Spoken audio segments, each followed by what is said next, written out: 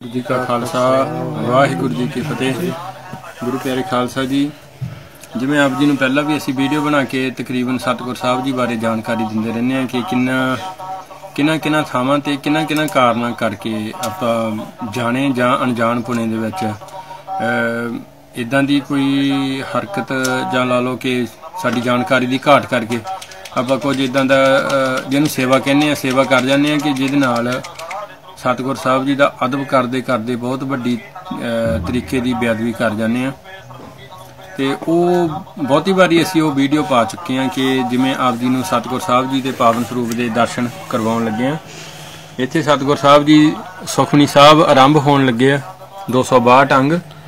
ਸਤਿਗੁਰ ਸਾਹਿਬ ਜੀ, ਸੁਖਨੀ ਸਾਹਿਬ ਆਰੰਭ ਹੋ ਗਏ, ਨਾਲ ਹੀ ਗੁਰੂ ਸਾਹਿਬ ਜੀ ਦੇ ਪਾਵਨ ਸਰੂਪ ਦੀ ਬੇਅਦਬੀ ਵਾਲਾ ਕੰਮ ਸ਼ੁਰੂ ਹੋ ਗਿਆ ਇੱਥੇ। ਅਗਰ ਆਪ ਜੀ ਦੇਖੋਗੇ ਆ ਸਾਰਾ ਹੀ ਮਹਾਰਾਜ ਸਾਹਿਬ ਜੀ ਦਾ ਅੰਗ, ਇਹ ਪਤਾ ਨਹੀਂ ਕਿੰਨੇ ਲੰਮੇ ਸਮੇਂ ਤੋਂ ਸੁਖਮਨੀ ਸਾਹਿਬ ਕਰਦੇ ਹੋਣਗੇ ਤਾਂ ਇਹ ਸਾਰਾ ਅੰਗ ਹੀ ਜ਼ਖਮੀ ਕਰ ਦਿੱਤਾ। ਅਗੇ ਜਿੰਨੇ 10 ਜਾਂ 12 ਅੰਗ ਆ, ਕਰਿਓ ਸਿੰਘ ਜੀ। ਇਹ ਤਾਰ ਵਿੱਚ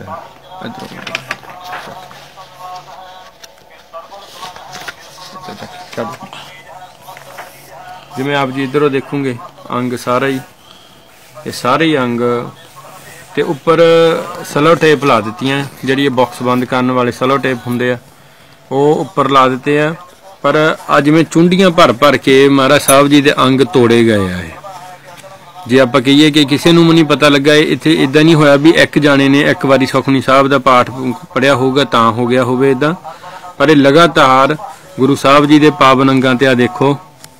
ਇਹ ਐਵੇਂ ਮਹਾਰਾਜ ਸਾਹਿਬ ਜੀ ਦੇ ਵਿੱਚੋਂ ਚੁੰਡੀਆਂ ਭਰ ਭਰ ਕੇ ਕੱਢ ਲਈ ਅੰਗਾਂ ਦੇ ਵਿੱਚੋਂ। ਤੇ ਅਸੀਂ ਲਗਾਤਾਰ ਅਸੀਂ ਕਰਦੇ ਰਹਿੰਦੇ ਆ ਦੱਸਦੇ ਰਹਿੰਦੇ ਕਿ ਆਹ ਚੀਜ਼ਾਂ ਨਾ ਕਰੋ। ਥੱਲਿਓਂ ਸਤਿਗੁਰ ਸਾਹਿਬ ਜੀ ਦੇ ਹੇਠਾਂ ਤੋਂ ਅੰਗ ਨਾ ਪਰਤੋ ਕਦੇ ਵੀ। ਪਰ ਉੱਪਰੋਂ ਸਾਨੂੰ ਸਤਿਗੁਰ ਸਾਹਿਬ ਜੀ ਦੇ ਅੰਗ ਉੱਪਰੋਂ ਲੈਣੇ ਚਾਹੀਦੇ ਆ।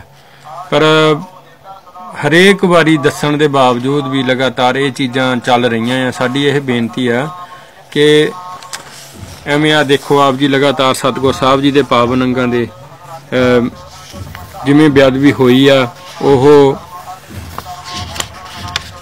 ਆ ਦੇਖਿਓ ਜੀ, ਲਗਾਤਾਰ ਸਤਿਗੁਰ ਸਾਹਿਬ ਜੀ ਦੇ ਉੱਪਰ ਫਿਰ ਸਲਾ ਟੇਪਾਂ ਵੀ ਉਹ ਲਾ ਲਾ ਕੇ ਸਾਰੇ ਅੰਗ। ਹੁਣ ਇਹ ਬਿਲਕੁਲ ਸਰੂਪ ਇਦਾਂ ਹੋ ਗਿਆ ਕਿ ਅੱਗੇ ਆਪ ਜੀ ਨੂੰ ਦਿਖਾਲਦੇ ਆ ਕਿ ਕਿਵੇਂ ਮਹਾਰਾਜ ਜੀ ਦੇ ਅੱਗੇ ਸਰੂਪ ਬਿਲਕੁਲ ਠੀਕ ਆ। ਆ ਸ੍ਰੀ ਸੁਖਮਨੀ ਸਾਹਿਬ ਜੀ ਦੇ ਜਿੰਨੀ ਪਾਠ ਹੋਏ ਹੋਣਗੇ, ਜਿੰਨੀ ਵਾਰੀ ਸਤਿਗੁਰ ਸਾਹਿਬ ਜੀ ਨੂੰ ਪ੍ਰਕਾਸ਼ ਕੀਤਾ ਹੋਵੇਗਾ, ਬਾਰੋ ਬਾਰੀ ਵੱਖਰੇ ਵੱਖਰੇ ਲੋਕ ਸੰਗਤਾਂ ਨੇ, ਉਹ ਇਹ ਉਨੇ ਹੀ ਅੰਗ ਸਾਰੇ ਮਹਾਰਾਜ ਸਾਹਿਬ ਜੀ ਦੇ ਤੋੜ ਦਿੱਤੇ ਗਏ ਆ। ਆ ਲਗਾਤਾਰ ਆਪ ਜੀ ਦੇਖੋ ਇਹ। ਹੁਣ ਆਪ ਜੀ ਨੂੰ ਸਾਧ ਸੰਗਤ ਜੀ ਸੁਖਮਨੀ ਸਾਹਿਬ ਤੋਂ ਬਾਅਦ ਵਾਲੇ ਅੰਗਾਂ ਦੇ ਦਰਸ਼ਨ ਕਰਾਉਣੇ। ਆ ਦੇਖੋ, ਸੁਖਮਨੀ ਸਾਹਿਬ ਤੋਂ ਬਾਅਦ ਅੰਗ ਬਿਲਕੁਲ ਸਾਰੇ ਸਹੀ ਹੋ ਗਏ ਗੁਰੂ ਮਹਾਰਾਜ ਦੇ ਸਰੂਪ ਵਿੱਚ ਜੇ ਕੋਈ ਪਾਠ ਕਰਦਾ ਤੇ ਕੋਈ ਸੋਚਦਾ ਕਿ ਕੋਈ ਗਲਤੀ ਲਿਖੀ ਹੋਈ ਹੈ, ਤੇ ਬੇਨਤੀ ਹੈ ਕਿ ਜੇ ਕੋਈ ਕਨਫਿਊਜ਼ਨ ਹੈ, ਕਿ ਕੋਈ ਸਮਝ ਨਹੀਂ ਹੈ, ਤੁਸੀਂ ਹੋਰ ਸਰੂਪ ਵਿੱਚ ਚੈੱਕ ਕਰ ਸਕਦੇ ਆ ਜਾਂ ਆਪਣੇ ਫੋਨ ਤੇ ਚੈੱਕ ਕਰੋ। ਆਪ, ਆਪਣੀ ਸੋਚ ਨਾਲ ਸਿੱਧੀ ਤਾਂ ਨਹੀਂ ਲਿਖ ਲਓ। ਸੋ ਆਪਾਂ ਬੇਨਤੀ ਕਰਦੇ ਕਿ ਕਿਸੇ ਹੋਰ ਕੋਈ ਸੂਝਵਾਨ ਗੁਰਸਿੱਖ ਕੋਲ ਕੋਈ ਵਿਦਵਾਨ ਤੋਂ ਜਾਂ ਕੋਈ ਸਰੂਪ ਸਰੂਪ ਤੋਂ ਜਾਂ ਇੱਕ ਸਰੂਪ ਨਾਲ ਪ੍ਰਕਾਸ਼ ਕਰਕੇ ਤੁਸੀਂ ਚੈੱਕ ਵੀ ਕਰ ਸਕਦੇ ਆ। ਆਪਣੇ ਮੋਬਾਈਲ ਫੋਨ ਤੋਂ ਸਿਕਿਉਰਿਟੀ ਤੋਂ ਮੈਕਸ ਤੋਂ ਵੀ ਚੈੱਕ ਕਰ ਸਕਦੇ ਆ। ਸੋ ਇਹ ਬੇਨਤੀ ਹੈ ਕਿ ਆਪਣੇ ਤੌਰ ਤੇ ਇਦਾਂ ਲਿਖਣਾ ਨਹੀਂ। ਜਿਵੇਂ ਇੱਥੇ ਤੁਸੀਂ ਦੇਖ ਸਕਦੇ ਆ, ਕਿਸੇ ਨੇ ਇਹ ਪਾਠ ਲਿਖਿਆ ਕਹਿ ਕਮੀਰ, ਅਬ ਕਹੀਏ ਕਾਹੇ। ਇਹ ਪੰਕ ਬੀਜ ਦਾ ਇੱਕ ਸ਼ਬਦ ਹੈ ਤੇ ਗੁਰੂ ਮਹਾਰਾਜ ਨੇ ਇੱਥੇ ਕਮੀਰ ਦਾ ਪਾਠ ਲਿਖਿਆ, ਕਬੀਰ ਨਹੀਂ ਲਿਖਿਆ।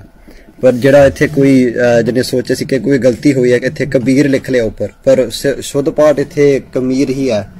ਸੋ ਇਸ ਕਰਕੇ ਆਪਾਂ ਬੇਨਤੀ ਕਰਦੇ ਆ ਕਿ ਆਪਣੇ ਆਈਫੋਨ ਤੇ ਕੋਈ ਸਿੱਖੀ ਤੋਂ ਮੈਕਸ ਆਈ ਗੁਰਬਾਣੀ ਤੋਂ ਐਪ ਤੋਂ ਚੈੱਕ ਕਰਕੇ ਤੁਸੀਂ ਜਾਣ ਸਕਦੇ ਕਿ ਪਾਠ ਸਹੀ ਹੈ ਕਿ ਨਹੀਂ ਸਹੀ ਹੈ ਤੇ ਕੋਈ ਗੁਰਸਿੱਖਾਂ ਤੋਂ ਵੀ ਤੁਸੀਂ ਪੁੱਛ ਸਕਦੇ ਆ। ਇਹ ਦੀ ਸੇਵਾ, ਮਹਾਰਾਜ ਜੀ ਦੇ ਮਰਮ ਪੱਟੀ ਦੀ ਸੇਵਾ ਜਲ ਦੀ ਸੇਵਾ, ਜੋ ਵੀ ਮਹਾਰਾਜ ਜੀ ਨੂੰ ਬਾਣੇ, ਨਵੇਂ ਬਾਣੇ ਚੜਾਏ ਜਾਂਦੇ ਹਨ। ਸੋ ਅਸੀਂ ਆ ਹੁਣ ਇਸ਼ਨਾਨ ਦੀ ਸੇਵਾ ਕਰਦੇ ਸੀ। 1300 ਤੇ 45 ਅੰਗ ਤੇ ਜਦੋਂ ਅਸੀਂ ਪਹੁੰਚੇ ਹਾਂ, ਬਸ ਸੇਵਾ ਕਰਦੇ। ਸੋ ਗੁਰੂ ਪਿਆਰੀ ਸਾਧ ਸੰਗਤ ਜੀ ਆ ਦੇਖੋ। ਲਾਲ ਪੈਨ ਦੇ ਨਾਲ ਇੱਕ ਲੀਕ ਕੇ ਇਹਨੂੰ ਖਿੱਚ ਦਿੱਤੀ ਆ।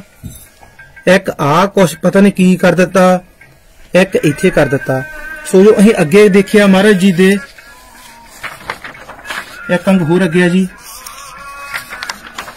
ਆਹ ਦੇਖੋ ਜੀ, ਹੁਣ ਆ ਫੇਰ ਗੋਲਕ ਧਾਰਾ ਜਾ ਮਹਾਰਾਜ ਜੀ ਦੇ ਪ੍ਰਵਾਦਤਾ ਲਾਲ ਪੈਂਦੇ ਨਾਲ। ਸੋ ਆਪਾਂ ਸਾਰਿਆਂ ਨੂੰ ਬਹੁਤ ਸੁਚੇਤ ਹੋਣ ਦੀ ਲੋੜ ਆ। ਪ੍ਰਬੰਧਕਾਂ ਨੂੰ, ਗ੍ਰੰਥੀ ਸਿੰਘ ਸਹਿਬਾਨਾਂ ਨੂੰ ਤੇ ਜਦੋਂ ਆਪਾਂ ਮਹਾਰਾਜ ਜੀ ਦੇ ਘਰੇ ਸਹਿਜ ਪਾਠ ਵਾਸਤੇ ਮਹਾਰਾਜ ਜੀ ਨੂੰ ਲਿਜਾ ਰਹੇ ਹੁੰਨੇ ਆ ਉੱਥੇ ਤੇ ਆਪਾਂ ਬਹੁਤ ਜ਼ਿਆਦਾ ਖਿਆਲ ਰੱਖਣਾ ਚਾਹੀਦਾ ਕਿ ਬੱਚਿਆਂ ਨੂੰ ਉਹਨਾਂ ਦੀ ਜਿੱਥੇ ਬੱਚੇ ਖੇਡਦੇ ਹਨ ਉੱਥੋਂ ਮਹਾਰਾਜ ਜੀ ਦੇ ਸਰੂਪ ਨੂੰ ਜਿੰਨਾ ਚੱਕਰ ਤਾਂ ਆਪਾਂ ਸਹਿਜ ਪਾਠ ਕਰਨਾ ਸਾਰੇ ਘਰ ਦੇ ਉੱਥੇ ਹੋਣੇ ਚਾਹੀਦੇ। ਉਸ ਤੋਂ ਬਾਅਦ ਮਹਾਰਾਜ ਜੀ ਨੂੰ ਲੋਕ ਲਾਉਣਾ ਚਾਹੀਦਾ। ਰੋਮ ਨੂੰ। ਰੂਮ ਨੂੰ ਜਿੰਦਾ ਲਾਉਣਾ ਚਾਹੀਦਾ ਕਿ ਕੋਈ ਵੀ ਬੱਚਾ ਖੇਡਦਾ ਖੇਡਦਾ ਅੰਦਰ ਆਣ ਕੇ ਪੈਨ ਦੇ ਨਾਲ ਕੋਈ ਮਹਾਰਾਜ ਜੀ ਨੂੰ ਜੋ ਵੀ ਉਹਦੇ ਮਨ ਵਿੱਚ ਬੱਚਿਆਂ ਨੂੰ ਕੁਝ ਨਹੀਂ ਆਪਾਂ ਕਹਿ ਸਕਦੇ, ਉਹ ਤੇ ਅਣਜਾਣ ਆ, ਪਰ ਆਪਾਂ ਤੇ ਨਹੀਂ ਅਣਜਾਣ, ਹਨਾ? ਆਪ, ਜਿਹੜੇ ਪੇਰੈਂਟਸ ਆ, ਉਹ ਤੇ ਨਹੀਂ ਅਣਜਾਣ, ਉਹਨਾਂ ਦਾ ਕਸੂਰ ਬਣ- ਉਹਨਾਂ ਦਾ ਕਸੂਰ ਆ ਸਾਰਾ ਇਹ, ਜੋ ਜਦੋਂ ਮਹਾਰਾਜ ਨੂੰ ਲੈ ਜਾਂਦੇ ਹਨ ਘਰੇ, ਮਹਾਰਾਜ ਜੀ ਤੋਂ ਖੁਸ਼ੀਆਂ ਲੈਣ ਵਾਸਤੇ, ਪਰ ਉਲਟ ਉਹ ਪਾਪ ਦੇ ਭਾਗੀ ਬਣ ਜਾਂਦੇ ਆ। ਜੇ ਆਪਾਂ ਮਹਾਰਾਜ ਜੀ ਨੂੰ ਘਰੇ ਲਿਆ ਕੇ ਅਕਾਲ ਪੁਰਖ ਨੂੰ ਇਹ ਗੁਰੂ ਨਾਨਕ ਦੇਵ ਜੀ ਦਾ ਸਰੂਪ ਹੈ ਜੇ ਆਪਾਂ ਮੰਨਦੇ ਤਾਂ ਘਰੇ ਲੈ ਕੇ ਜਾਂਦੇ ਆ ਜੇ ਆਪਾਂ ਐਗਜ਼ਾਮਪਲ ਆ ਗੁਰੂ ਨਾਨਕ ਦੇਵ ਜੀ ਨੂੰ ਆਪਾਂ ਘਰੇ ਲੈ ਜਾਈਏ ਲਿਜਾ ਕੇ ਉਹਨਾਂ ਦਾ ਨਿਰਾਦਰ ਕਰੀਏ ਤਾਂ ਇਹ ਤਾਂ ਗੱਲਾਂ ਕੋਈ ਸੋਭੀਆਂ ਤੇ ਹੈ ਨਹੀਂ ਹਨਾ ਆਪਣ- ਵਾਸਤੇ। ਇਹਨਾਂ ਨੂੰ ਹੱਥ ਜੋੜ ਕੇ ਬੇਨਤੀ ਆ ਦੁਬਾਰਾ ਫੇਰ ਪੱਲਾ ਪਾ ਕੇ ਕਿ ਆਪਾਂ ਬਹੁਤ ਜ਼ਿਆਦਾ ਖਿਆਲ ਰੱਖੀਏ ਮਹਾਰਾਜ ਜੀ ਦਾ ਮਹਾਰਾਜ ਤੋਂ ਫੇਰ ਹੀ ਖੁਸ਼ੀ ਆਪਾਂ ਲੈ ਸਕਦੇ ਹਨ ਇਹ ਮਹਾਰਾਜ ਜੀ ਅਕਾਲ ਪੁਰਖ ਦਾ ਰੂਪ ਹੈ ਗੁਰੂ ਨਾਨਕ ਦੇਵ ਜੀ ਖੁਦ ਆ ਇਹ ਪਰਮੇਸ਼ਰ ਰੂਪ ਆ ਨਾ। ਸੋ ਸਾਧ ਸੰਗਤ ਜੀ ਵਾਹਿਗੁਰੂ ਜੀ ਕਾ ਖਾਲਸਾ ਵਾਹਿਗੁਰੂ ਜੀ ਕੀ ਫਤਿਹ।